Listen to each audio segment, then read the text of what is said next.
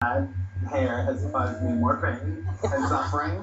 All right, Nancy, I'm going to show you one of my absolute favorite things to do with the InStyler. It's that bump right on the crown. So taking a section, we're going to put the. InStyler in, barrel down, and we're going to over direct. Now what this is doing is it's helping Now to look at put the size of your head now. right into that crown. And you can see how Dang. the dry, frizzy hair is going through the InStyler, and you can see it polishing right No, on the don't do barrel. that. See how that's happening? That hair looks so smooth and The silky and difference? shiny as it's going. The difference is amazing. And when I drop this out, you're gonna see nothing but body and volume. That is awesome. That is magic.